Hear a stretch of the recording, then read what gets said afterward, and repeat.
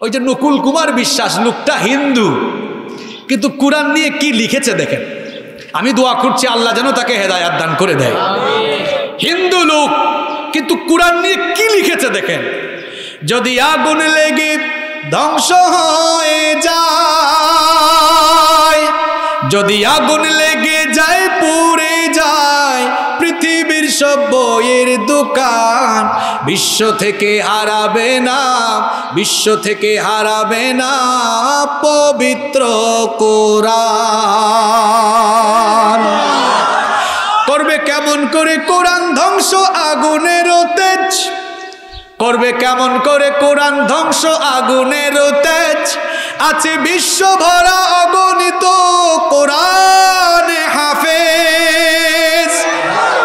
তারা ছাপায় আসমানি গ্রন্থ, তারা ছাপায় আসমানি গ্রন্থ, বাঁচাবে কোরআনের মান, বিশ্ব থেকে হারাবে না, বিশ্ব থেকে হারাবে না পবিত্র কোরআন।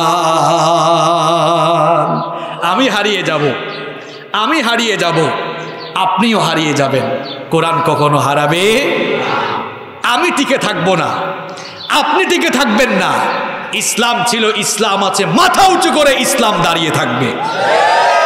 ইসলাম কারও কাছে দায়বদ্ধ নয়, বরং আপনার মতো লোক ইসলামের কাছে দায়বদ্ধ। আপনাকে ছাড়াও ইসলাম থাকবে, ইসলামের কিছু দায় আসে না। আপনি ইসলামের পক্ষে থাকলেও ভালো, না থাকলেও অসুবিধা নাই। কিন্তু ইসলাম ছাড়া আপনি অচল। আপনার দুনিয়া বরবাদ আখেরা তো বরবাদ। মাঝে মাঝে আমরা অনেকে একটু দিশেহারা হয়ে যাই সেন্স ঠিক থাকে না। অনেকে আসি আমরা উল্টাপাল্টা বলি, ইসলামের বিপক্ষে আমরা অনেক সময় বলে ফেলি, ইসলামের বিপক্ষে কাজ করে ফেলি। প্রিয় ভাইয়েরা, আপনারা তো আমাদের কলিজার টুকরা, আপনাদেরকে তো বোঝানো আমাদের দায়িত্ব। আমরা এই উম্মার জন্য, আপনাদের কল্যাণে, আপনাদেরকে ভালো পথে ডাকার জন্য তো আমরা কাজ করছি। ভালোবাসার, ভালোবাসা এবং আন্তরিকতা দিয়ে বলে যাচ্ছি। প্রিয় ভাইয়েরা ইসলামের বিপক্ষে দাঁড়ালে আপনি টিকে থাকতে পারবেন না। বরং ইসলামের বিপক্ষে চলে গেলেই আল্লাহ নিজের হাতে আপনার সায়স্তা করবে। দেখছেন ওই পাগলারে আল্লাহ কি করছে? কোন পাগলা? ওই টাকলা পাগলা আর কি? হে বলে, কই ইসলাম রাষ্ট্রধর্ম থাকতে পারে না। অথচ এই দেশের প্রধানমন্ত্রী যিনি, তিনি ধার্মিক মানুষ, পাঁচ ওয়াক্ত নামাজ আর তাহাজ্জুদ দিয়ে উনার দিন শুরু হয়। ঠিক কি না? তার তো এটা বোঝা উচিত ছিল। এই পাগলা পাগলামি করতে করতে শেষ পর্যন্ত সব হারাইছে। ইসলাম কিন্তু ঠিকই ঠিকই আছে। ঠিক কি না? এভাবেই যারা ইসলামের বিরুদ্ধে চলে যাবে, এদের নাম নিশানা মুছে যাবে। পৃথিবীর এক ইঞ্চি মাটিও তারে গ্রহণ করে নাই। কানাডায় গিয়েছিল। দেখছেন, এয়ারপোর্টে কেমনে শুয়েছিল? ব্যাককল। কোরআনের বিরুদ্ধে গেলে আল্লাহ এভাবেই সায়স্তা করে। কারণ সায়স্তা আলেম করে না, কোনো ফেরেস্তাও করে না। সরাসরি অ্যাকশনে চলে যান কে? অ্যাকশনে চলে যান কে? যেন আমরা কেউ কোরআনের বিরুদ্ধে থাকব না। আমরা দল, মত ভুলে গিয়ে মুসলমানিত্বের পরিচয়কে ধারণ করে আমরা সবাই, সব সময় ইসলামের পক্ষে, কোরআনের পক্ষে কাজ করব। রাজি আছেন? রাজি আছেন সবাই? আল্লাহ কবুল করেন। আমি আজ কোরআনুল করিমের কিছু স্পেশালিটি আপনাদের সামনে তুলে ধরব। যার মাধ্যমে আপনি বুঝতে পারবেন আল্লাহর কালাম। এটা কেমন কিতাব? এর ভ্যালু আপনি বুঝতে সক্ষম হবেন ইনশা আল্লাহ নাম্বার ওয়ান এক number, Quran is a book that is most read in this world কোরআনুল করিম হচ্ছে এই দুনিয়ার একমাত্র কিতাব, যা পৃথিবীতে দিবানিশি অনবরত চব্বিশ ঘণ্টা বিরামহীন তেলাওয়াত হয়। সুবাহান আল্লাহ আপনি বলবেন, কীভাবে হয়? এবার সাইন্টিফিক বৈজ্ঞানিকভাবে এবং বাস্তবিকভাবে আপনাকে কথাটি বুঝিয়ে দিই। মহাকাশ বিজ্ঞানীরা গবেষণা করে দেখলেন, পৃথিবীর ঘূর্ণায়মান পদ্ধতি এবং আহ্নিক গতি আর বার্ষিক গতির ফলে পৃথিবীর বিভিন্ন স্থানে সময়ের ভিন্নতা আছে। যেমন বাংলাদেশে এখন বিকাল তিনটা পঞ্চান্ন মিনিট বাজে। সারা পৃথিবীতে কি এখন? বিকাল তিনটা পঞ্চান্ন মিনিট বাজে? না। সৌদি আরবে এখন বারোটা পঞ্চান্ন মিনিট। এখন তারা জোহরের নামাজ আদায় করছে। United State of America. আমেরিকায় এখন ভোর পাঁচটা পঞ্চান্ন মিনিট তারা ফজরের নামাজ পড়ছে। সৌদি আরবে জোহর, আমেরিকায় ফজর। আর লন্ডনে এখন বাজে ছয় ঘণ্টা তো, তাই না? এখন বাজে দশটা কত? পঞ্চান্ন মিনিট। ইতালিতে এক সময়, ফ্রান্সে এক সময়, দুবাইয়ে এক সময়, ফিনল্যান্ডে এক সময়, আইসল্যান্ডে এক সময়, ইন্ডিয়াও তো আমাদের সাথে আধা ঘণ্টা টাইমের ব্যবধান আছে।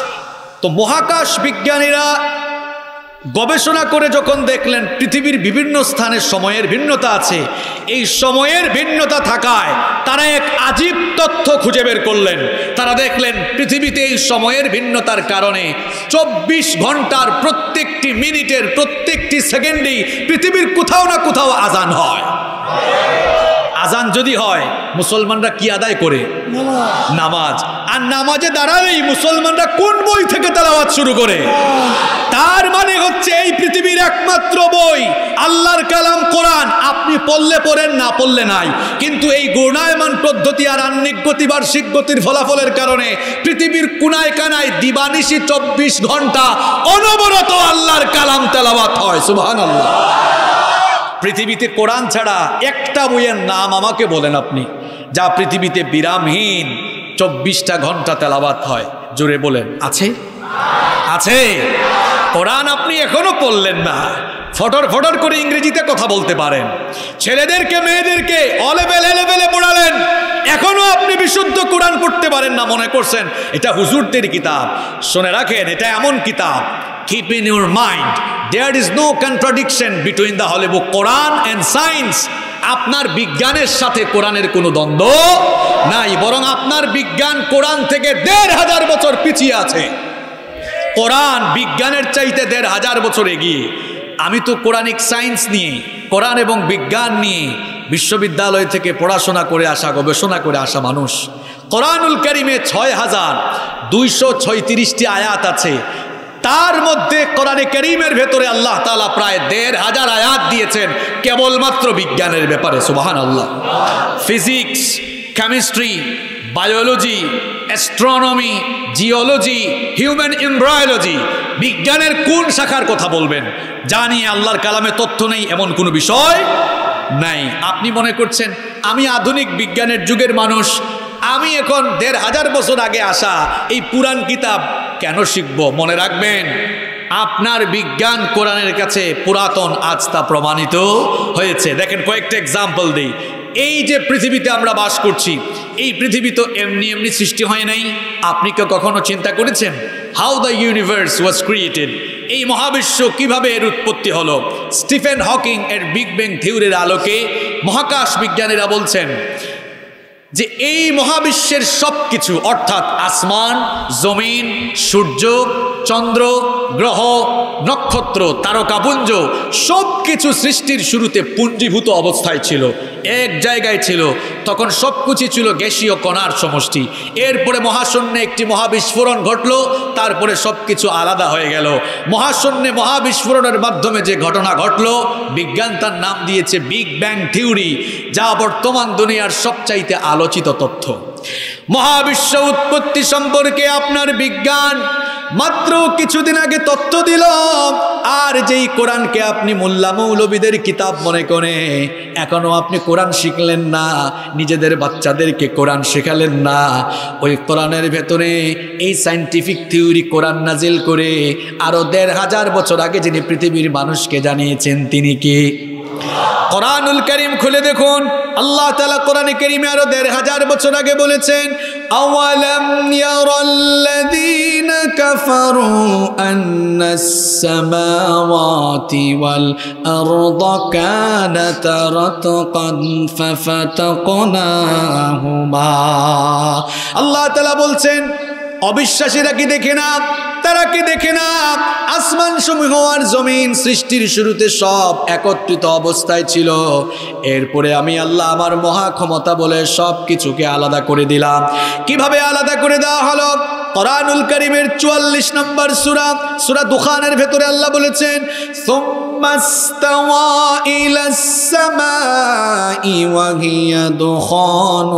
ফকাল লাহা ওয়ালিল আরদি دخان فقال لها وللأرض ائتيا طوعا أو كرها قالتا آتينا طائعين আল্লাহ তালা বলছেন মহাশূন্য যখন মহাবিস্ফোরণ ঘটল আমার বাবারা আমার ভাইয়েরা বলেন তো দেখি কোথাও যদি আগুন লাগে সেই জায়গায় ধোয়া সৃষ্টি হয় কি হয় না মহাশূন্যে যখন মহাবিস্ফোরণ হলো আসমান তখন মহাশূন্য তখন ধূম্রজাল স্বাচ্ছন্ন হয়ে গেল।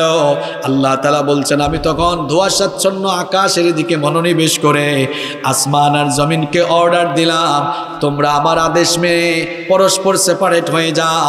আসমান জমিন তখন অনুগতদের মতো জবাব দিয়ে বলল, ওগো আমাদের রব, আমরা আপনার মহান হুকুম মেনে অনুগতদের মতো অস্তিত্বমান অবস্থায় ফিরে গেলাম। নাইনটিন সেভেন্টি নাইন, উনিশশো উনআশি সালে সৌদি আরবের রাজধানী রিয়াদে একটি কনফারেন্স হয়েছিল। সেই কনফারেন্স হলে এই আয়াত দুটো যখন তেলাবাত করা হলো, সেই কনফারেন্সে উপস্থিত ছিলেন ইউনাইটেড স্টেট অফ আমেরিকার বিখ্যাত সায়েন্টিস্ট বালমার। এই আয়াতগুলো শুনে তিনি দাঁড়িয়ে গেলেন, থমকে গেলেন। তিনি বললেন স্টপ থামো। হাউ ইজ ইট পসিবল এটা কীভাবে সম্ভব? মহাবিশ্ব উৎপত্তির ধারণা আমরা বিজ্ঞানীরা গবেষণা করে মাত্র কিছুদিন আগে খুঁজে বের করলাম। এটা কোন বই থেকে পড়ে? আমাদেরকে শোনাচ্ছ, মহাবিশ্বের ধারণা ওই বইয়ে আসলো কেমনে? বলা হলো, মিয়া, এটা এই যুগের কিতাব না। এটা আজ থেকে আরও দেড় হাজার বছর আগে নাজিল হওয়া আল্লাহর কিতাব, কোরআন। সে তখন বলল, দেড় হাজার বছর আগে পৃথিবীতে বিজ্ঞান ছিল না, সায়েন্স ল্যাবরেটরি ছিল না, যখন পৃথিবীতে বিজ্ঞান ছিল না বিজ্ঞান আগার ছিল না, সেই সময় মহাবিশ্ব উৎপত্তির বিজ্ঞানময় এই তথ্য যেই বইয়ে এসেছে আমি কনফার্ম এটি পৃথিবীর মানুষের লেখা বই না। এই মহাবিশ্বের কারিগর যিনি, এই কিতাবও নাজিল করেছেন তিনি। সুতরাং আমি কেন আর গুমরাহির ভেতরে পড়ে থাকব? এই কনফারেন্স হলে সবাইকে সাক্ষ্য রেখে আমি কালেমা পড়ে মুসলমান হয়ে গেলাম। এই হচ্ছে আল্লাহর কালাম কোরআন। আপনার বিজ্ঞান যত উন্নত আর সমৃদ্ধ হবে, পৃথিবীর বিজ্ঞান আর বিজ্ঞানীরা এতিমের মতো কোরআনের সামনে মাথাটা নত করে দিয়ে চিরকাল ভিক্ষুকের মতো দাঁড়িয়ে থাকতে বাধ্য হবে। আপনি কোরআন এখনও পড়লেন না। আপনার বিজ্ঞান কোরআনের কাছে কত পুরাতন, শুনবেন? এই যে পৃথিবীর সেই পৃথিবীর আকৃতির ব্যাপারে বিজ্ঞান এক এক সময় এক এক কথা বলে। মানুষের সঙ্গে রীতিমতো তামাশা করেছে। সর্বপ্রথম প্রাচীনকালের বিজ্ঞানীরা বলেছিলেন, পৃথিবী মনে হয় চ্যাপ্টা অথবা সমতল। বিজ্ঞান ধীরে ধীরে এগিয়ে গেল। পনেরোশো সাতানব্বই সালে ফ্রান্সিস ড্র্যাক জলপথে ভ্রমণ করে বললেন, প্রাচীনকালের বিজ্ঞানীদের দেওয়া তথ্য ভুল। পৃথিবী আসলে সমতল নয়। এই তথ্য ভুল, আমি দেখলাম পৃথিবী আসলে গোল। এখন পনেরোশো সাতানব্বই, এখন দুহাজার বাইশ। এই পাঁচশো, সাড়ে পাঁচশো বছরের বিজ্ঞান আরও সামনের দিকে এগিয়ে গিয়েছে। বিজ্ঞান এগুতে এগুতে এখন আধুনিক বিজ্ঞান স্যাটেলাইটের যুগে প্রবেশ করেছে। এখন আধুনিক বিজ্ঞান স্যাটেলাইটের যুগে গবেষণা করে দেখল পৃথিবী গোল, এই তথ্য ভুল। পৃথিবীটা কেমন? হ্যাঁ? ডিম্বাকৃতি ডিমের আকৃতির মতো পৃথিবীর সেই পৃথিবীর আকৃতি। বিজ্ঞান তামাশা করতে করতে এক এক সময় এক এক তথ্য দিতে দিতে একবিংশ বা বিংশ শতাব্দীতে এসে পৃথিবীর আকৃতির ব্যাপারে বিজ্ঞান যে তথ্য দিল, যেই কিতাবকে আপনি মোল্লাদের কিতাব, হুজুরদের কিতাব মনে করে আজও শিখলেন না, নিজের বাচ্চাগুলোকেও কোরআন শেখালেন না, ওই কোরআনে পৃথিবীর আকৃতির ব্যাপারেও এই সাইন্টিফিক ধারণা দেড় হাজার বছর আগে দিয়েছেন কি? আল্লাহ তালা বললেন, ওয়াল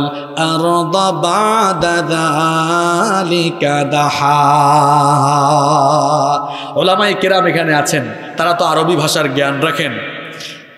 উট পাখির ডিমকে আরবিতে বলা হয় দাহা।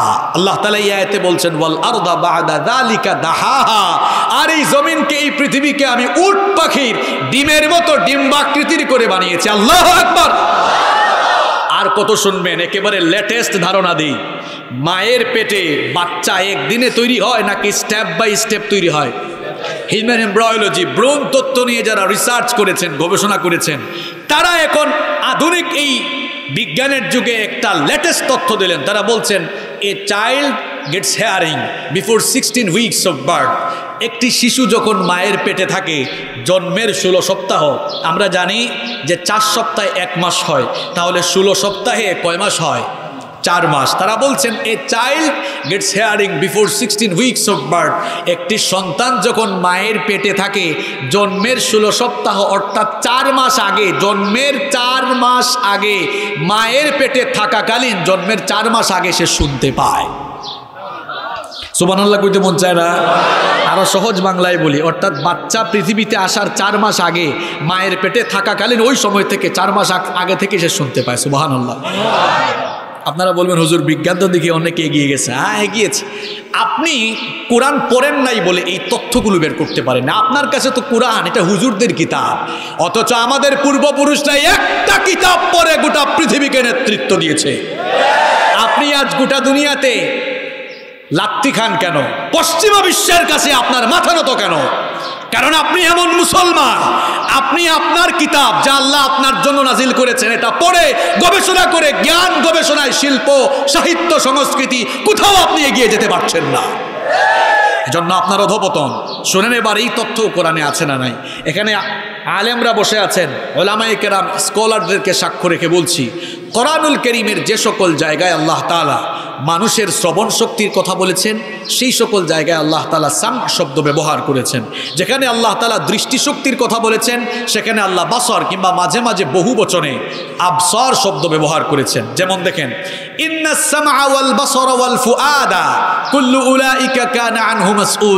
এখানে আল্লাহ তালা বাসরের আগে সাম জেনারেল ভাইদের জন্য বাংলায় বলি, দৃষ্টিশক্তির আগে শ্রবণ শক্তির কথা বলেছেন। অন্য আয়াতে যান وجعل لكم السمع والأبصار وال আফইদা। জেনারেল ভাইদের জন্য বাংলায় বলি, এখানেও আল্লাহ তালা আবসরের আগে সাম, অর্থাৎ দৃষ্টিশক্তির আগে শ্রবণ শক্তির কথা বলেছেন। আধুনিক যুগের মুফাসিরগণ এই আয়াতগুলোর সাইন্টিফিক এক্সপ্লেনেশন বিজ্ঞানসম্মত ব্যাখ্যা করেছেন এভাবে, যেহেতু আল্লাহ তালা কোরআনে করিমের সকল জায়গায় দৃষ্টিশক্তির আগে শ্রবণ শক্তির কথা বলেছেন, তার মানে হলো একটি শিশু মায়ের পেটে দৃষ্টিশক্তি পাওয়ার আগে শ্রবণ শক্তি পায় সুবাহান আল্লাহ যেহেতু মাহফিলে অনেক মা বোনরা এসেছেন, এবার মা বোনদের উদ্দেশ্যে, যুবক ভাইদের উদ্দেশ্যে, যারা বিয়ে শাদী করো না এদের উদ্দেশ্যেও কিছু কথা বলি। তাহলে কোরআন বিজ্ঞান একমত। সন্তান জন্মের কয় মাস আগে? মায়ের পেটে শোনে। এখন যুবক, তোমরা যারা বিয়ে করো নাই, খালি যে সুন্দরী মায়ে দেখে দৌড়াও, সুন্দরী দেখে দৌড়াইও না। ফ্যাক্টরি ভালো হলে প্রোডাক্ট ভালো হয়। ফ্যাক্টরি খারাপ হলে প্রোডাক্টও খারাপ হয়। এখন দেখুন তো কোরআন বিজ্ঞানে একমত হয়ে বলছে, জন্মের চার মাস আগেই মায়ের পেটে থাকতে সন্তান শুনে। এখন আপনার বউ যদি খারাপ হয়, আপনার সন্তান পেটে নিয়ে সারাদিন যদি হিন্দি গান শুনে, হিন্দি সিরিয়াল দেখে, ঝাঁকানাকা ঝাঁকানাকা আর ডিজে গান শুনে, কোরআন আর বিজ্ঞান একমত হয়ে বলছে, জন্মের চার মাস আগে থেকেই সে এগুলো শুনতে পায়। তাহলে এই মহিলার পেট থেকেও তো যেগুলা বের হবে, সব ঝাঁকানাকা ঝাঁকানাকা আর ডিজে মার্কাই বের হবে। তার বিপরীতে যদি আপনার স্ত্রী ওয়াইফ ভালো হয়, সন্তান পেটে নিয়ে যদি কোরআন তেলাওয়াত করে, জিকির আসকার তাসমিতা আলিল করে, এই কোরআন তেলাওয়াত, জিকির আসকার তাসমিতা আলিলের সাউন্ড জন্মের চার মাস আগ থেকেই সন্তান পেটের ভেতর থেকে শুনে, ওই মহিলার পেট থেকে যেগুলা বের হবে, এগুলা পৃথিবী বিখ্যাত আলেম, বড় বড় স্কলার বড় বড় মুফাসির বড় বড় মুহাদ্দিস, বড় বড় মুফতি, শাইখুল হাদিস, বড় বড় বুজুর্গ হয়ে যাবে। ঠিক তো বললে যুবকরা, যারা বিয়ে করো নাই, তা সুন্দরী মেয়ে দেখে দৌড়াইবা শুধু? কথা বলো না কেন? ছাত্র যুবকদেরকে বলছি, মুরব্বী বাবাদেরকে না, আপনাদেরকে তো তুমি করে বলার এমন স্পর্ধা আমাদের নাই। ছাত্র যুবক তরুণদেরকে বলছি, যারা বিয়ে শাদী করো না এখনও মিসকিন আছো? শুধুমাত্র শুধুমাত্র কি সুন্দরী মেয়ে দেখে দৌড়াইবা? এই মেয়েটা দিনদার কিনা, পর্দা মেনটেন করে কিনা, বুর্খা পরে কিনা, নামাজি কিনা, কোরআন তালাবাত করে কিনা, আমল ভালো কিনা, এমন মেয়ে দেখে সংসার শুরু করে দাও। দেখবা সংসার জীবনটাকে জান্নাতের রঙে রঙিন করে দিবেন কে? আল্লাহ সবাইকে বুঝার তৌফিক দান করেন। তাহলে এই জায়গাতেও কোরআন আগে না বিজ্ঞান আগে? এই যে ফিঙ্গারপ্রিন্ট আরবিতে বলা হয় বাসমা, ইংরেজিতে বলা হয় ফিঙ্গারপ্রিন্ট বাংলায় বলি আমরা আঙ্গুলের ছাপ। এখন দু হাজার বাইশ সাল, আমার প্রিয় ভাইয়েরা, আঠারোশো সালের আগে পৃথিবীর মানুষ ফিঙ্গারপ্রিন্টের ধারণাই জানতো না। সর্বপ্রথম এই তথ্য আবিষ্কার হয়েছে ইংল্যান্ডে। দেখুন, আমাদের হাতে আঙ্গুল আছে কয়টা? জোরে বলতে হবে, কয়টা? বলেন তো, এক আঙ্গুলের ছাপের সাথে আরেক আঙ্গুলের ছাপের কি কোনো মিল আছে? সুভান আল্লাহ পৃথিবীতে আটশো কোটি মানুষ বাস করে, একজনের ফিঙ্গারপ্রিন্টের সাথে আরেকজনের ফিঙ্গারপ্রিন্টের কোনো মিল নাই। আপনারা পাসপোর্ট অফিসে গেলে দেখবেন যে পাসপোর্ট অফিসে দশ আঙ্গুলের ছাপ দেওয়া লাগে। যারা মোবাইল ফোন ইউজ করেন সিম রেজিস্ট্রেশনে গেলে দশ আঙ্গুলের ছাপ নেয়। বিদেশে যখন যাবেন এয়ারপোর্টে ইমিগ্রেশন ক্রস করার সময় দেখবেন ফিঙ্গারপ্রিন্ট দেওয়া লাগে। জায়গা, জমি রেজিস্ট্রি তারপরে ভোট দিতে যান, আজকাল সব জায়গায় এই ফিঙ্গারপ্রিন্ট লাগে। একজনের ফিঙ্গারপ্রিন্টের সাথে আরেকজনের ফিঙ্গারপ্রিন্টের কোনো মিল নাই। এখন বিজ্ঞান জেনেছে, আঠারোশো ছাপ্পান্ন সালে সর্বপ্রথম ব্রিটিশ বিজ্ঞানী উইলিয়াম হার্সাল মানবদেহের উপরে গবেষণা চালিয়ে এই সাইন্টিফিক তথ্য পৃথিবীবাসীকে জানিয়েছেন। আর যেই কোরআনকে আপনি হুজুরদের, মোল্লাদের কিতাব মনে করেন ওই কোরআনে আরও দেড় হাজার বছর আগে এই সাইন্টিফিক তথ্য কোরআনে যিনি দিয়েছেন, সবাই আন্তরিকতার সাথে জবাব দিয়ে বলেন তো তিনি কি? কোরআনুল করিমের পঁচাত্তর নম্বর সুরা, সুরাতুল এর তিন এবং চার নাম্বার আয়তে রব্বুল আলমিন বলেছেন আয়াহসাবু আল্লান নাজমা ইযামা বালা কাদিরিনা আলা আন নুসাউইয়া বানানা আল্লাহ তাআলা বলছেন, এই পৃথিবীতে যারা ধারণা করে মানুষ যখন মরে যাবে, মরে যাওয়ার পরে তাদের দেহর তাদের দেহের অঙ্গ প্রত্যঙ্গগুলো যখন ছিন্ন বিচ্ছিন্ন আলাদা হয়ে যাবে, মানুষের দেহ যখন মাটির সাথে মিশে গিয়ে অস্থিপিঞ্জর, হাড্ডি, মাংস সব আলাদা হয়ে যাবে। যারা মনে করে এগুলোকে আবার জোড়া লাগিয়ে কে মানুষকে জিন্দা করবে, আল্লাহ তালা তাদের কথার জবাব দিতে গিয়ে বলছেন, বান্দারে, শোনে রাখ, তোর ছিন্ন বিচ্ছিন্ন হয়ে যাওয়া অঙ্গ প্রত্যঙ্গগুলোকেই কেবল জোড়া লাগিয়ে আমি একত্রিত করব না, বরং তার পাশাপাশি বালা কদিরিনা আলা আন্নুসাউমিয়া বানানা। তার পাশাপাশি আমি তোমাদের প্রত্যেকের হাতের আঙ্গুলের যে মাথা, এই আঙ্গুলের ছাপগুলো পর্যন্ত পুনর্বিন্যস্ত করব। তাহলে বলেন তো, কোরআন আগে না বিজ্ঞান আগে? আসতে বলবেন না জুড়ে বলেন, কোরআন আগে না বিজ্ঞান আগে? এবার আমারে জবাব দেওয়া লাগবে না। আরে আমার এই ভাইদের তো কষ্ট হচ্ছে। এখানে যদি একটা পর্দা দেওয়া যায়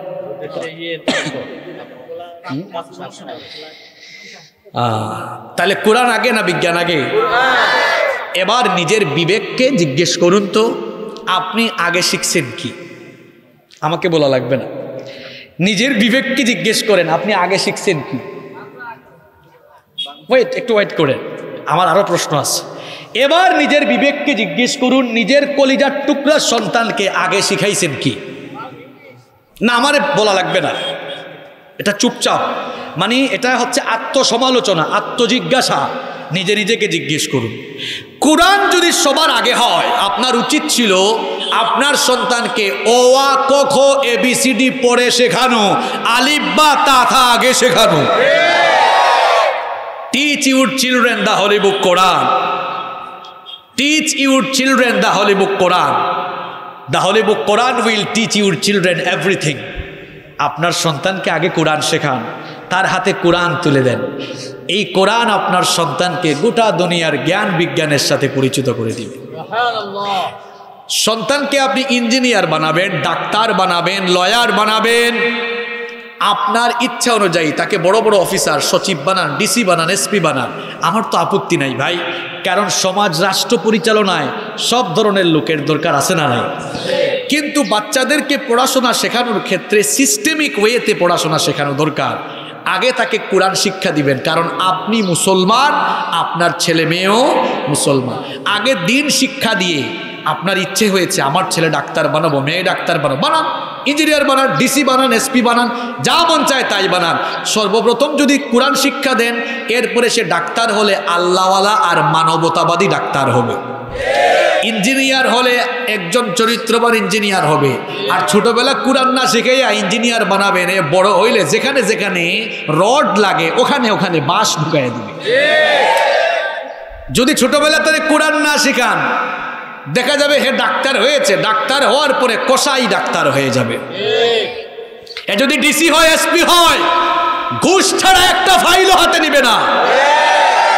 এই বাংলাদেশে অনেক আল্লাহওয়ালা থানার ওসি আছে। অনেক আল্লাহওয়ালা ডিসি আছে। অনেক আল্লাহওয়ালা এসপি আছে। খুঁজ, এরা পাঁচ ওয়াক্ত নামাজও পড়ে খুঁজ নিয়ে দেখে নিশ্চয়ই তার মা বাপ ছোটবেলা সবার আগে তাকে কোরআন, হাদিস শিখাইছে।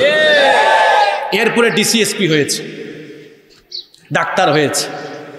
আপনি কি করবেন? আপনার সন্তানকে আগে কোরআন হাদিস শেখান। এরপরে ডাক্তার বানাবেন, ইঞ্জিনিয়ার, ডিসি, এসপি, যা মন চায় তা বানান। অসুবিধা আছে? নইলে মাথার ঘাম পায়ে ফেলে খেতে, খামারে, মাঠে, ঘাটে কাজ করে সন্তানগুলাকে বড় অফিসার বানাবেন। কপালে খারাপই থাকলে, কোরআন হাদিস দিন না শিখাইলে keep in your mind as a parent as a guardian মা বাবা হিসাবে গার্ডিয়ান হিসাবে হয়তো এমনও হতে পারে the old home is waiting for you বৃদ্ধাশ্রম হয়তো আপনার মতো কপাল পুরার জন্য অপেক্ষা করছে আজ পর্যন্ত শুনেছেন কোন আলেম তার মা বাপকে ঘাট ধাক্কা দিয়ে ঘর থেকে বের করে দিয়েছে শুনেছেন কখনো যে পয়সা ইনকাম করুক একজন মসজিদের ইমাম পাঁচ সাত হাজার টাকা বেতন পায় গিয়ে দেখেন বাড়িতে সে যখন ঈদের সময় আসে, বউয়ের জন্য পড়ে কিনে, মায়ের জন্য আগে কিনে একটা কাপড়। কারণ এরা কোরআন পড়েছে, কোরআন পড়তে গিয়ে দেখেছে, ওয়াকুল্লাহুমা কৌলান কেরিমা।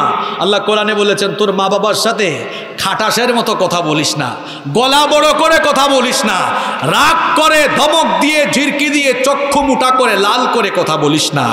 মা বাবার সঙ্গে মার্জিত ভাষায় সুন্দর এবং ভদ্রভাবে নমনীয় হয়ে কথা বলো। এটা শিখাচ্ছে মোল্লা না আল্লাহ? এটা শিখাচ্ছে মোল্লা না আল্লাহ? তাহলে কি করবেন প্রিয় ভাইয়েরা? সন্তানদেরকে কোরআন, হাদিস, দিনী শিক্ষা আগে দিবেন তো? ওই মা বাপ কি সৌভাগ্যবান! যেই মা বাপ মারা যাওয়ার পর তার নিজের সন্তান জানাজা করে। এখানে আলেমরা বসে আছেন। জানাজার নামাজে ইমাম হওয়ার জন্য কি বড় আলেম হওয়া লাগে? না। যদি কোরআন তেলাওয়াত বিশুদ্ধ থাকে, নামাজ আদায়ের মাসালা মাসাইলগুলো যদি সঠিকভাবে জানে, তাহলে সেই ইমামতি করতে পারবে, কোনো অসুবিধা নাই। এখন যদি আপনার ছেলে ডাক্তার হয়, অসুবিধা কি? ওই ডাক্তার ছেলে, সে তো কোরআন, হাদিস, কোরআন শুদ্ধ করে পড়তে জানে, নামাজ জানে সেই ইমামতি করবে, জানা যায়। আচ্ছা বলেন তো, আপনি মারা যাওয়ার পরে একজন ভাড়া করা আলেম অন্য জায়গা থেকে আনলেন, ওই হুজুরের ভেতরে যে আবেগ কাজ করবে আপনার ছেলে ইমামতিতে দাঁড়ালে দুজনের আবেগ কি সেম থাকবে? কথা বলেন সেম থাকবে? যদি আপনার ছেলে সেখানে থাকে জানাজার নামাজে প্রত্যেকটা তাকবীর যখন দিবে তার কলিজাটা দুমড়ে মুচড়ে উঠবে। প্রত্যেকটা তাকবীর দিতে গিয়ে তার চক্ষু থেকে পানি ঝরবে। এই যে রূপসা নদীর পানি দিয়ে কবরে জাহান নামের আগুন নিভানো যাবে? রূপসা নদীতে পানি মনে হয় কম। হ্যাঁ? বঙ্গোপসাগর, আটলান্টিক, প্রশান্ত, আরব সাগর, ভারত সাগর, সব সাগর, মহাসাগরের পানি ঢেলে জাহান নামের আগুন নেভানো যায়। কিন্তু আপনার সন্তান যদি মাত্র দুই ফুটা চোখের পানি ছাড়ে, দুই ফুটা বেশি না, এই দুই ফুটা চোখের পানির পাওয়ার এত বেশি, যদি সন্তানটিকে দিনদার আল্লাহওয়ালা বানায় যান জানা যান নামাজে দাঁড়ায় যখন দুই ফুটা চোখের পানি ছাড়বে, ওই দুই ফুটা চোখের পানি নাকের ডগায় আসার আগে দুই ফুটা চোখের পানি দিয়ে আল্লাহ তালা আপনার কবরের জাহান নামের আগুনকে চিরতরে নিভায়া দিবেন। চিন্তা করেছেন? আপনার সন্তানটাকে আল্লাহওয়ালা, সন্তানটাকে মোত্তাকি পরহেজগার, দিনদার বানানোর গুরুত্ব কতটুকু? প্রিয় ভাইয়েরা, মায়েরা, সবাইকে বলছি, আমার বাবারা, মায়েরা, ভাইয়েরা, বোনেরা, সবাইকে বলছি, এজন্য সবার আগে শিখতে হবে আল্লাহর কোরআন। নিজের পরিবারকে, সন্তানকে সবার আগে শেখাতে হবে আল্লাহর কোরআন। রাজি আছেন তো সবাই? কে কে রাজি নাই? হাত তুলেন দেখি। আল্লাহর কুতুব কয়েকটা আছে, যারা অমনোযোগ হয়ে ওয়াজ শুনতেছে। মানে আমি মাঝে মাঝে এরকম কিছু উল্টাপাল্টা কথা বলি, যাতে করে আপনাদের কনসেন্ট্রেশনকে চেক করে নেওয়া যায়। অসুবিধা নাই, ভুল করে যারা হাত তুলেছেন, এরা এখন থেকে সতর্ক। এখন থেকে তারা কনসেন্ট্রেট হয়ে কথা শুনবে হিংসা প্রিয় ভাইয়েরা, আমি বলছিলাম আল্লাহর কালামের কয়েকটি বৈশিষ্ট্য শোনাবো। বলছি কয়টা? বলছি কয়টা? মুখস্থ করতে হবে। আমি কিন্তু মুখস্থ করাই এরপরে ছাড়বো। নইলে ছাড়বো না। যুবক ভাইরা এত কষ্ট করে, এত এত কষ্ট করে মাহফিলের আয়োজন করেছে। এমনি এমনি চলে যাবে? নো মুখস্থ করতে হবে। দুইটা বলছি। এক নাম্বার বলছি, পৃথিবীতে চব্বিশ ঘন্টায় যে বই তিলাওয়াত হয়, বইটার নাম কি? বিজ্ঞানের যুগে বিজ্ঞান কোরআনের পেছনে নাকি কোরআন এখনও বিজ্ঞানের সামনে? হ্যাঁ? আরও জোরে বলতে হবে।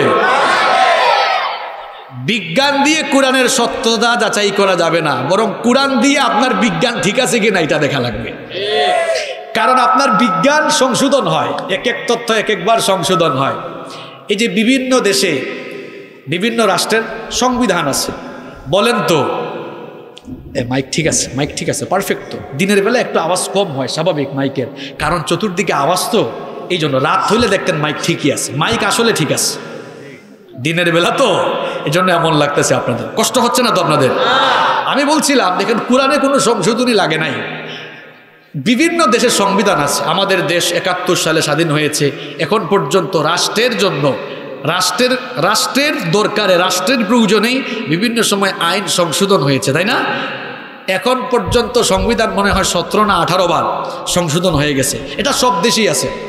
হ্যাঁ সতেরো বার না? সতেরো বার সব দেশেই হচ্ছে। কোরআন দেড় হাজার বছর আগে নাজিল হয়েছে। কিছুদিন পর পর কি আল্লাহ বলেন, এই বান্দারা, শোনো, এখন তো আধুনিক যুগ এসে পড়েছে। তো কোরআন থেকে এবার পাঁচশোটা আয়াত বাদ দাও।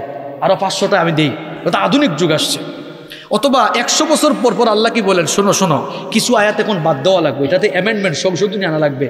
নাউজুবিল্লা আল্লাহ কি এমন কথা বলেন?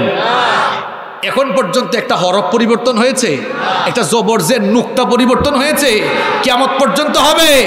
এ মানুষ শান্তির জন্য কোথায় দৌড়ায় মানুষ? কোথায় মানুষ দৌড়াচ্ছে? এই যুগে যা দরকার, ভবিষ্যতে যা দরকার, একশো বছর পরে যা দরকার, কিয়ামতের আগেও যা দরকার, সব কুরারে দিয়েছেন কে? আহা, আপনি কোথায় যাচ্ছেন ভাই? আমার ভাইরা না বুঝে দৌড়াচ্ছে। আমার ভাইদেরকে বলব, ফিরে আসেন। কোরআনের কাছে আসেন। কোরআনের পথ আলেমরা দেখায় নাই। কোরআনের পথ যিনি দেখিয়েছেন, তিনি কে? তিনি কে? এবার শুনুন, কোরআন কেমন কিতাব?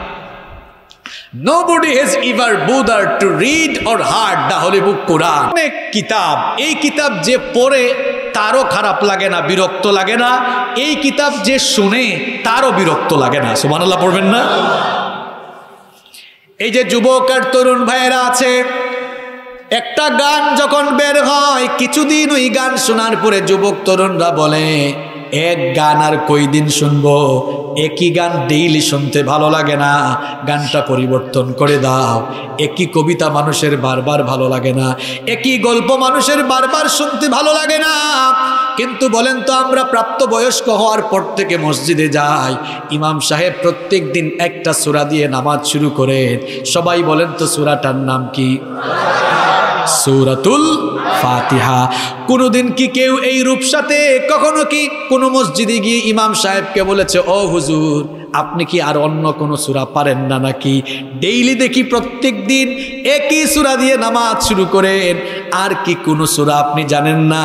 এমন কথা, এমন আপত্তি কেউ কি কোনো দিন করেছে নাকি? কেমন পর্যন্ত এমন অভিযোগ করার সম্ভাবনা আছে নাকি? বরং দেখা যায় এক আয়াত বারবার শুনলেও মানুষের কলিজা ঠান্ডা হয়ে যায়। আবার এক একজনের এক এক রকম কণ্ঠ, কারও কারও কণ্ঠে আল্লাহ এমন সুধা ঢেলে দিয়েছেন, তাদের তেলাবতে মানুষের কলিজা ঠান্ডা হয়ে যায়। হজ আর অমরা যারা করেছেন, দেখি তো হজ আর অমরা যারা করেছেন, হাত তুলেন। আচ্ছা বেশ কয়েকজন আছেন। যারা যেতে পারেন নাই, আল্লাহ সবাইকে যাওয়ার তৌফিক দেন। যারা যেতে পারেন নাই ইউটিউবে, ফেসবুকে তেলাওয়াত শুনেন না? হারামের ইমাম সাহেবদের?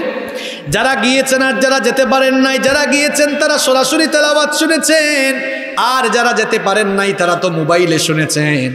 বলেন তো, হারামের ইমামরা যখন তেলাবাদ শুরু করে দেন, পেছনে লক্ষ লক্ষ মুসল্লিদের কান্নার আওয়াজ আছে না নাই? আল্লাহর রহমতে আমিও একাধিকবার গিয়েছি। একটা ছোট্ট ঘটনা আপনাদেরকে শোনাই। একদিন এশার নামাজে ইমামতি করছেন। ফাদিলাতুল শেখ ডক্টর আব্দুর রহমান সুদাইস এশার নামাজের আগে কিছু বাঙালি ভাইয়েরা আমার সাথে বসে চা খেলেন। নামাজের সময় হয়ে গেল, বললাম, ভাইরা, নামাজে চলেন। নামাজে চলে গেলাম। ওই দিন নামাজের ইমাম হচ্ছেন আব্দুর রহমান সুদাইস তিনি নামাজে তেলাবাদ শুরু করলেন, সুরাতুন নাবা প্রথম রাখাতে তেলাবাদ শুরু করলেন।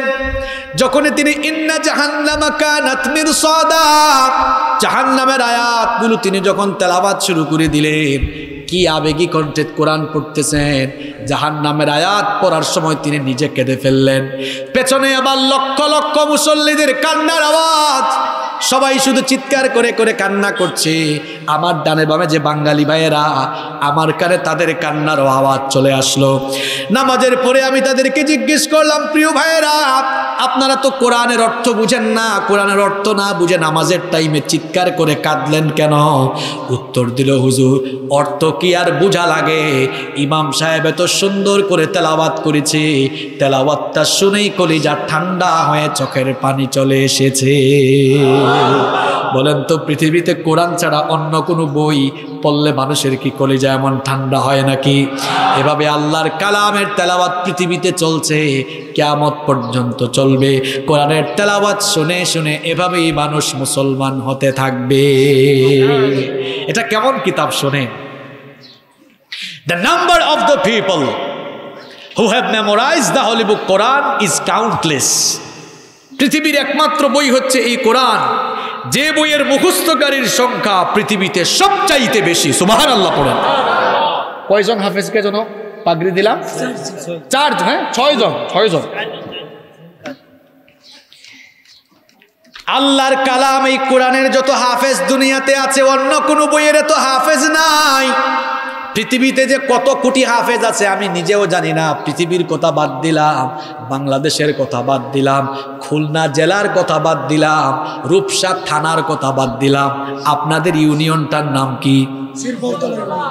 বলেন তো, হিসাব যদি করেন, শ্রীফলতলা ইউনিয়নের ভেতরে শত শত হাজার হাজার হাফেজ আছে না না ইউনিয়নে যদি এত শত, এত হাজার হাফেজ থাকে, বাংলাদেশে তো লক্ষ লক্ষ হাফেজ আছে। পৃথিবীতে কোটি কোটি হাফেজ আছে। পৃথিবীতে কোরআন ছাড়া অন্য কোন বইয়ের এত হাফেজ আছে? কোনো ধর্মীয় গ্রন্থকে আমরা খাটো করছি না।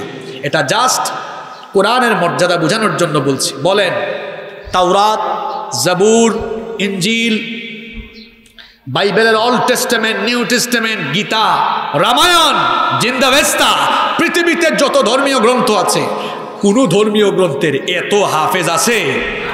মাঝে মাঝে টিভিতে দেখবেন অনেকে এসে তাদের ধর্মীয় গ্রন্থ দেখে দেখেও ভালো করে পড়তে পারে না। আর আমার হাফেজরা যখন নামাজে দাঁড়িয়ে যায়, পেছনে শুধু মানুষের কান্নার আওয়াজ শোনা যায়।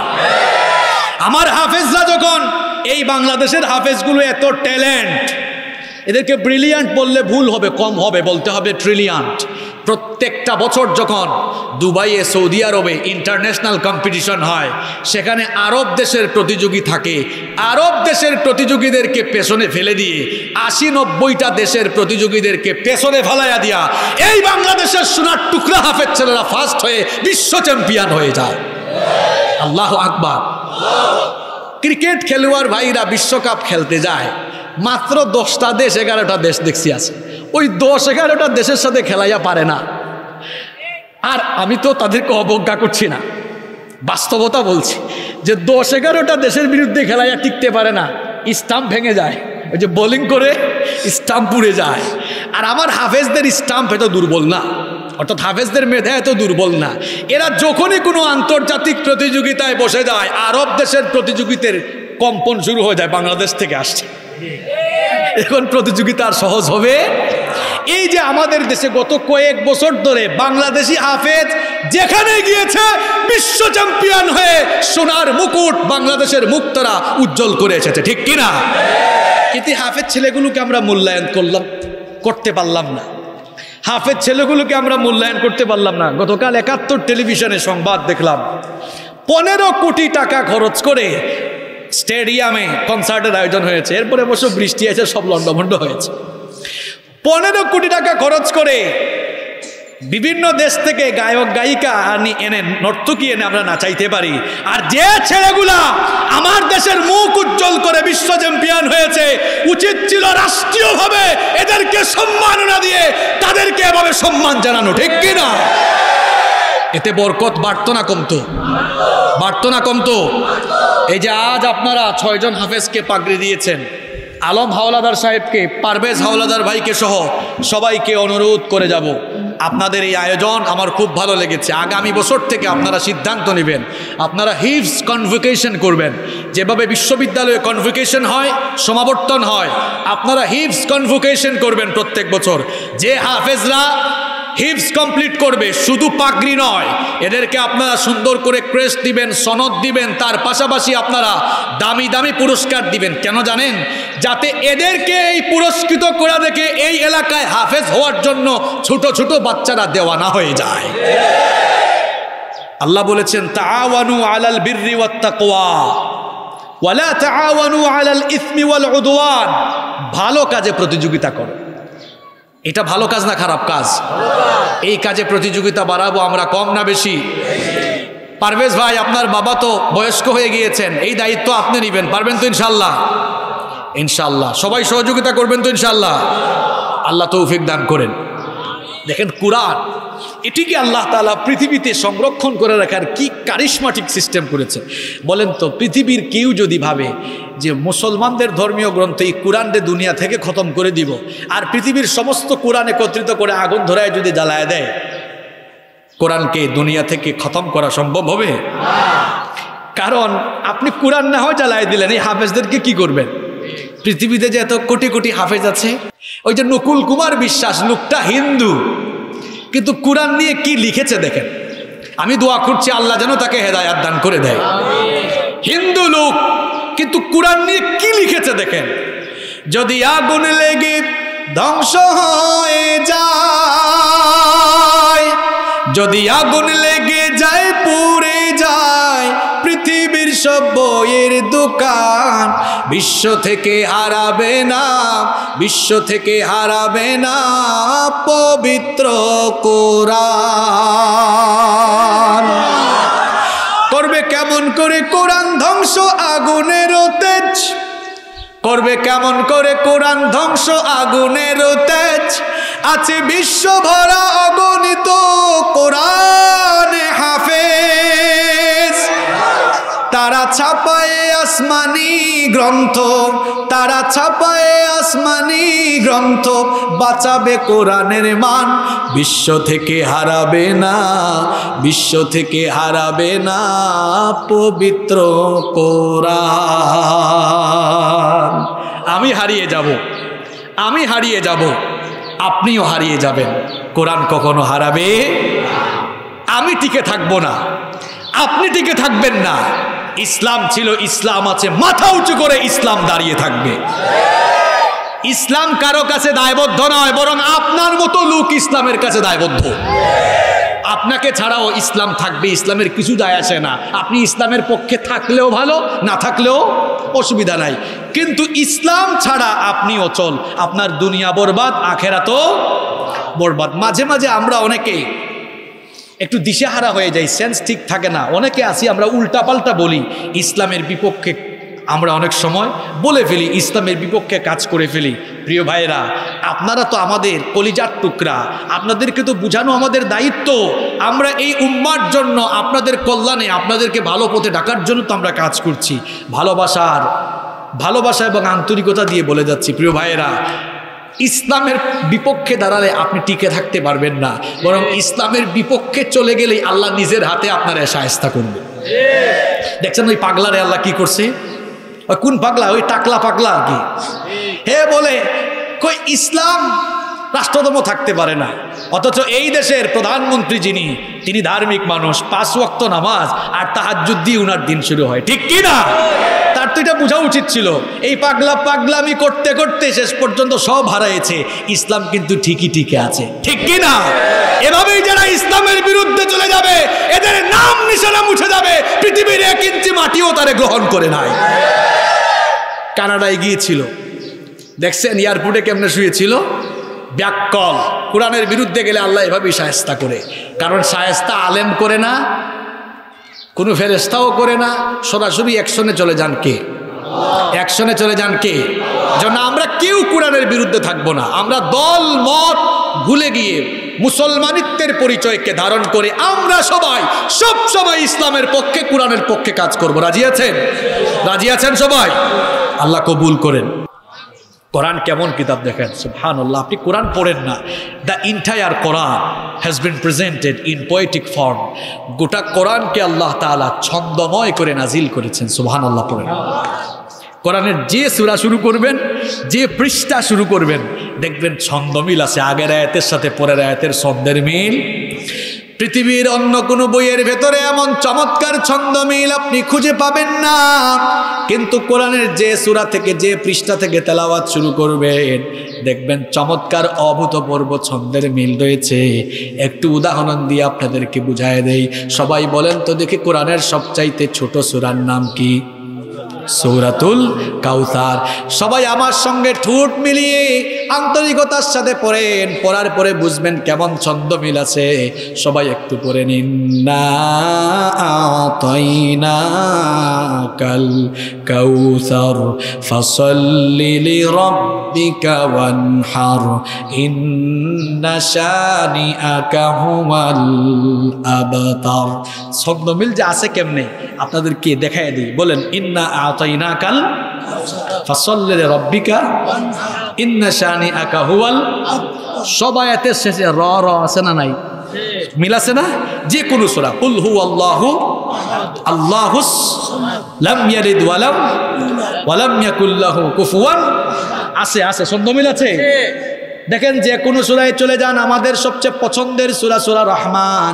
কি সুন্দর ছন্দ মিল আর রহমান আল্লামাল কোরআন, খলাকল ইনসান, আল্লামাহুল পৃথিবীর অন্য কোনো বইয়ের ভেতরে এত সুন্দর ছন্দ মিল ভাই, এটা কেমন কিতাব জানেন? এই কিতাবের হেফাজতকারী স্বয়ং কে? এই কিতাব এমন কিতাব, এই কিতাবের সাথে কাছে যারা আসে, তার মর্যাদা বাড়াইয়া দেন কে? এই যে আমাদের সামনে আর মাত্র চার দিন বা পাঁচ দিন আসতেছে রমজান মাস, বলেন তো সারা বছরের মধ্যে সবচাইতে দামি মাস কোনটা? যদি বলা হয়, বাবারা, ভাইয়েরা বলেন তো, কিসের কারণে রমজান মাস এত দামি? উত্তর হলো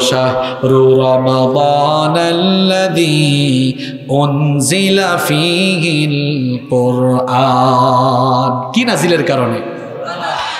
শুধুমাত্র কোরআন নাজিলের কারণে বছরের অন্যান্য মাসের চাইতে রমজান মাসের দাম বেশি। আবার দেখেন বছরের মধ্যে তিনশো পঁয়ষট্টিটা রাত আছে। সব চাইতে বরকতময় ফজিলতের রাতটার নাম কি? লাইলাতুল যদি জিজ্ঞেস করি, কেন? উত্তর হলো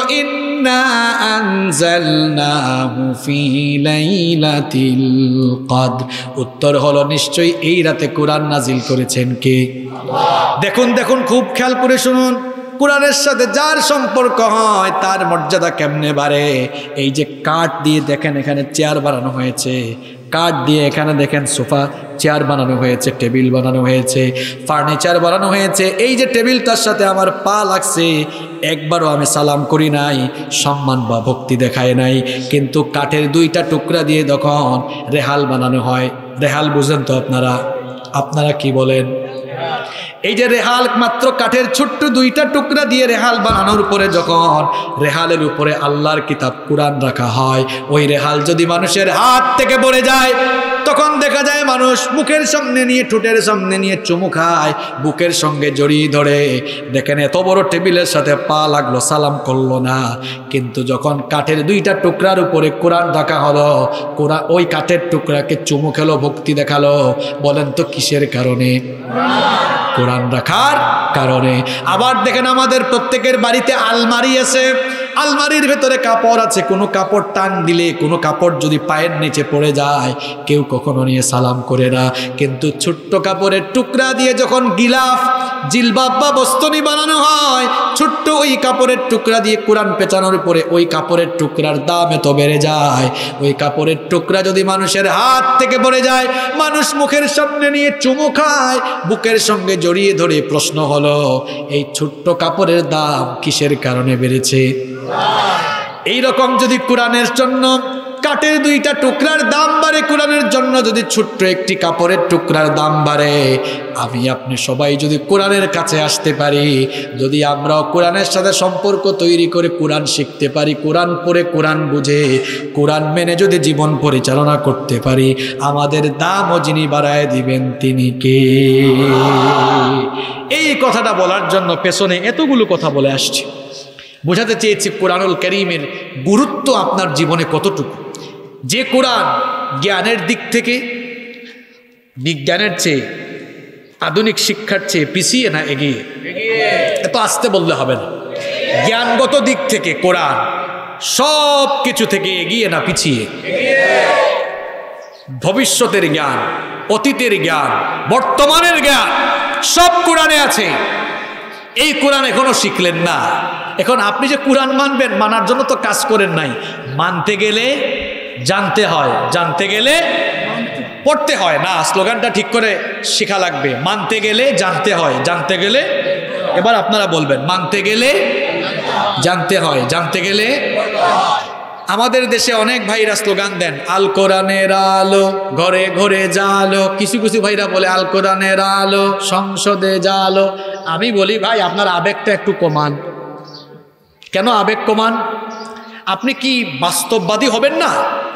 আপনি কি বাস্তববাদী হয়ে বাস্তব চিন্তা করবেন না? আপনার এই স্লোগানগুলোকে আমি অপছন্দ করছি না। আপনার স্লোগানগুলো ঠিক আছে।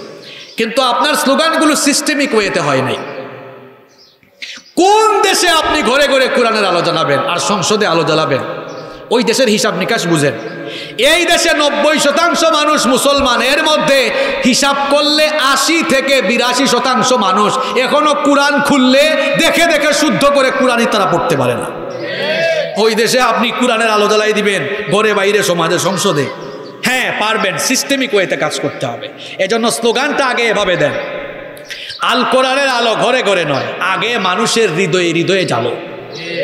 যদি আপনি প্রত্যেকটা মানুষের হৃদয়ের ভেতরে কোরআনের আলো জ্বালায় দিতে পারেন, এই আলোকিত হৃদয়ের মানুষগুলোকে দিয়ে ঘরে, বাহিরে, সমাজে, সংসদে, এমনকি এই পৃথিবীর, এই দুনিয়ার প্রতি ইঞ্চি জমির উপরে কোরআনের পতাকা পথ করে উড়ে যাবে। ঠিক তো কইলেন, কাজও করা লাগবে ঠিক করে। স্লোগানও দেওয়া লাগবে ঠিক করে। আমি গত দুই তিন বছর ধরে বাংলাদেশের যেখানে কথা বলার সুযোগ আল্লাহ দিচ্ছেন, সেখানেই বলতেছি, ভাইরা, এবার পরিবর্তনে আসেন আপনারা। আপনারা একটা আপনারা একটা পরিবর্তনের স্লোগান দেন, পরিবর্তনের ডাক দেন। সবখানে বলে আসতেছি, আল কোরআনের আলো, হৃদয়ে হৃদয়ে জালো এই রূপসা থেকে এই স্লোগান, পরিবর্তনের স্লোগানটা সবাই মিলে কি খুলনার চতুর্দিকে কোনায় কানায় ছড়িয়ে দেওয়া যাবে না ইনশাল্লাহ দাঁড়ান, আমি আপনাদেরকে এমনি এমনি ছাড়বো না। এখান থেকে রিহার্সাল করায় আর ট্রেনিং দেওয়ায় তারপরে ছাড়বো। ফেসবুক অ্যাকাউন্ট আছে কার কার? সবারই তো আছে। সবাই আজকে মাহফিল শেষে আসরের নামাজটা পড়েন। অনেকে আবার আছে, বুঝছেন? মেম্বার সাহেব, ওয়াজ শুনে কিন্তু নামাজ পড়ে না। কয় প্যান্ট আর লুঙ্গি ঠিক নেই, যেটা ঠিক নেই এটা পড়ছো কেন?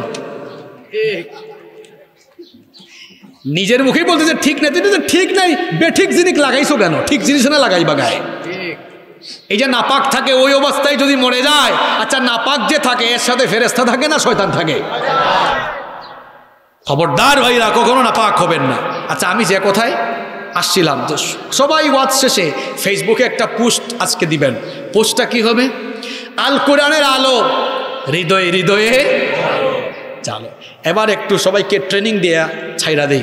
আমি বলব আল কোরআনের আলো আপনারা বলবেন, হৃদয়ে হৃদয়ে কষ্ট হচ্ছে আপনাদের? আরে কষ্ট হইলে তো আমার হওয়ার কথা। কারণ এই এই রোদের মধ্যে আপনারা বসে আছেন, আর আমি তো কথা বলছি, প্রচণ্ড ঘামাচ্ছি, আমার এই ভাই এত কষ্ট করতেছে। আমি বলব আল কোরআনের আলো, আপনারা কি বলবেন? জোরে বলতে হবে। আল কোরআনের আলো। কি, আপনারা কি অপসরে গেছেন নাকি? যারা রাস্তায় বসে আছেন? আপনাদেরকেও বলা লাগবে। আল কোরআনের আলো। হৃদয়ে হৃদয়ে জালো। কোরআন সুন্নার আলো। আগামী বছর পুস্টার এলো, এটা লাগাই দিবেন। যে কোরআন সুন্নার আলো মানুষের হৃদয়ে হৃদয়ে জালো। এক্সেপশনাল হওয়া দরকার। অর্ডিনারি না হয়ে এক্সট্রা অর্ডিনারি হন আপনি। পরিবর্তনের স্লোগান নিয়ে আসেন। মানুষের হৃদয়ে আমরা যদি কোরআনের আলো জ্বলে দিতে পারি এই যে একটু আগে চেয়ারম্যান সাহেব কিছু কথা বলেছিলেন যে আমরা কেন এত বিভ্রান্তিতে থাকি? আমরা কি সবাই এক হতে পারি না? এক হতে পারছি না কেন জানেন? আমরা সবাই এখনও আমাদের হৃদয়ে কোরআনের আলো জ্বালতে পারি নাই। আল্লাহর কসম, যদি আমার প্রত্যেকটা ভাইয়ের ভেতরে কোরআনের আলো জ্বলে যায়, দেখবেন সবাই দল, মত সব কিছু বাদ দিয়ে কোরআনের পতাকা তোলে সবাই একমত হয়ে সবাই ঐক্যবদ্ধ হয়ে যাবে। ভাইয়েরা, বিভ্রান্তি দিয়ে আর আক্রমণ করে কখনো মানুষকে কাছে আনা যায় না। মানুষকে ভালোবাসা দিয়ে, আন্তরিকতা দিয়ে কাছে বুকে টেনে আনতে হয়। তখনই আপনি পরিবর্তন ঘটাতে পারবেন। পরিবর্তনের জন্য পরিবর্তনশীল মননশীত না পরিবর্তনের জন্য পরিবর্তনশীল মননশীলতা। পরিবর্তনশীল চিন্তা চিন্তা চেতনা নিয়ে কাজ। করা লাগবে। আপনাকে বলতে হবে মার্জিত ভাষায়, শালীন ভাষায়, দরদ মাখা ভাষায়। ডাকতে হবে দরদ দিয়ে, আন্তরিকতার সাথে। তবেই দেখবেন যে আসার কথা ছিল না, সেও চলে আসবে। ঠিক কি না? এজন্য আসুন, সিদ্ধান্ত নেই আজকের এই মাহফিল থেকে। আমরা পৃথিবীর সবচেয়ে দামি কিতাব, জান্নাতে যাওয়ার জন্য যে গাইডলাইন যে কিতাব, এই কিতাবটা আমরা সবাই আমাদের হৃদয়ে জ্বালবো। রাজি আছেন সবাই? রাজি আছেন সবাই? দিনের বেলা হওয়ায় হয়তো অনেকে মাঠে ঘাটে কাজে ব্যস্ত। আমি আল্লাহ হায়াতে বাঁচায় রাখলে, সুযোগ হলে আগামীতে রাতের বেলা এসে আপনাদেরকে এবার তো স্লোগান দিয়ে গেলাম, এবার তো আপনাদেরকে কোরআন শিখার, কোরআন কেন দরকার গুরুত্বটা বুঝাইয়া শেষ পর্যন্ত এই অনুরোধটা করে গেলাম। হৃদয়ে হৃদয়ে কোরআনের আলো জ্বালাবেন। আগামীতে আসলে এই আলোকিত হৃদয়ের মানুষদেরকে আরও আলোকিত কিছু কথা শোনায় যাব ইনশা আল্লাহ। সবার কাছে অনুরোধ সামনে রমজান মাস কোরআন নাজিরের মাস। আল্লাহর ওয়াস্তে কোরআন যারা এখনও শিখেন নাই প্রিয় ভাইয়েরা কোরআনটা শিখে ফেলবেন। কোরআনটা শিখে ফেলবেন কোরআন শিখা নফল না ফরজ? নফল না ফরজ? মেম্বার সাহেবকে আমি বলব আপনি দায়িত্বশীল মানুষ আপনার মসজিদে আপনি একটা বয়স্ক কোরআন শিক্ষা কেন্দ্র নিজের উদ্যোগে চালু করে দিবেন। দিবেন তো ইনশাল্লাহ তিনি কথা দিয়েছেন এইটা আপনার নাজাতের উশিলা হবে। এই যে আপনি একটা বয়স্ক কোরআন শিক্ষা কেন্দ্র চালু করবেন, একজন ভালো কারি, ভালো প্রশিক্ষক রাখবেন। আমার বাবার বয়সী সম্মানিত চাচারা, আমার কলিজার টুকরা যুবক, তরুণ ছাত্র ভাইয়েরা এখানে কোরআনটা শিখবে। কেয়ামতে আপনি কবরে যাওয়ার পরে এটাই এটাই আপনার নাজাতের কারণ হয়ে যাবে, ইনশাআল্লাহ। ওনাকে সবাই সহযোগিতা করবেন তো ইনশাল্লাহ ভালো কাজে আমরা একজন আরেকজনকে সহযোগিতা করব। এই নির্দেশটা দিয়েছেন কে? তাহলে আমরা আল কোরআনের আলো হৃদয়ে হৃদয়ে জ্বালার এই প্রতিশ্রুতি নিয়ে আজকে মোনাজাতের দিকে যাচ্ছি, ইনশা আল্লাহ। আল্লাহ তালা আমাদের সবাইকে কোরআনের জন্য, ইসলামের জন্য কবুল করুন।